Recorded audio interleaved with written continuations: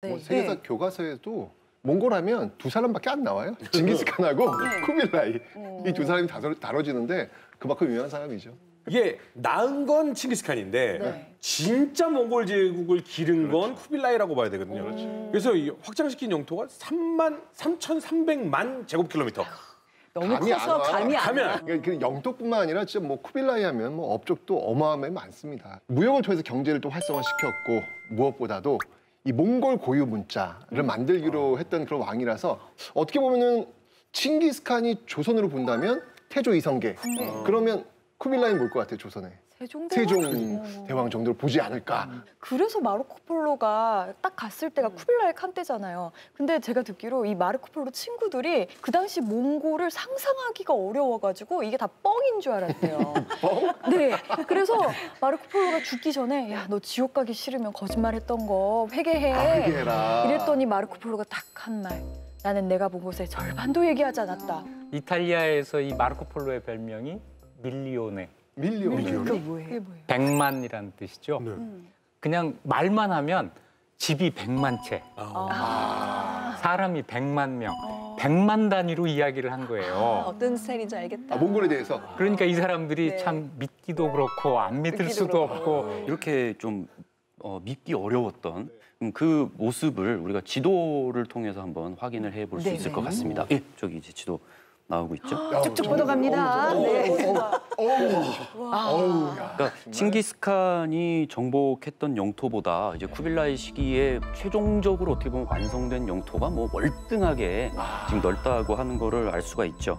그리고 특히 이제 나중에 남송을 정복을 하게 되면서 어, 몽골 제국이 중국 전체를 손아귀에 넣었다고 하는 것이 굉장히 중요한 어, 사실이라고 할 수가 있습니다. 그래서 마르코 폴로가 동방견문록에 기록하기를 우리 시조인 아담이 태어난 이래로 이 쿠빌라이는 가장 권세 있는 사람이다.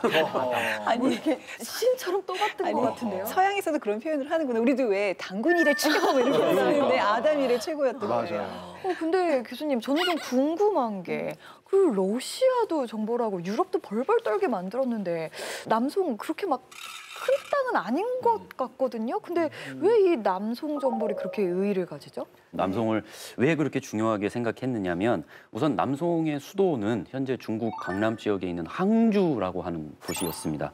근데 쿠빌라의 입장에서는 그 남송이 차지하고 있는 아까 그 강남 지역 네.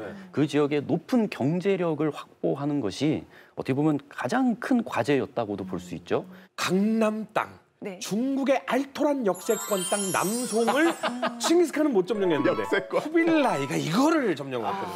강남 아, 입성한 건가요? 요거면은 3,300만이 중요한 게 아니라 요 땅이 중요한 거죠. 아마 그 시대 세계에서 가장 부유한 것을 꼽으라면 거기였을 거예요. 몽골족의 인구가 100만 됐을까요?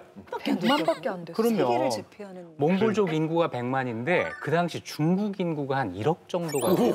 우와 말도 안 돼. 100만을 가지고 1억을 어떻게 통치할 것인가 하는 것은 쿠빌라이에게 정말 중요한 숙제가 아닐 수가 없죠. 그렇죠, 그렇죠. 그래서 오늘 우리가 쿠빌라이에 대해서 살펴보면서 통치자로서의 모습을 어떻게 갖추어가는지 음. 이걸 한번 주의 깊게 좀 보실 필요가 있겠습니다. 자, 그럼 지금부터 본격적으로 쿠빌라이에 대한 얘기를 해보도록 하겠습니다. 칭기스칸의 아들이 아니라 손자죠? 네, 칭기스칸의 손자인데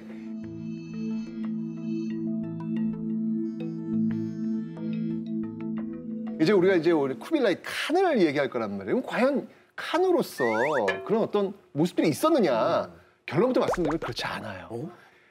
그 형 뭉케, 뭉케. 뭉케가 4대 칸이잖아요. 네. 형이 칸이에요. 그러니까 칸의 자리에 오르기에는 쉽지 않죠. 쉽지 않았겠죠. 어, 그런데 어떻게 해서 칸이 된 거죠? 그 1259년에 이제 뭉케가 남송을 정벌하겠다고 지금의 이제 중국 사천성 어, 쪽에서 전쟁을 하다가 갑자기 전염병에 걸려서 사망을 하게 됩니다.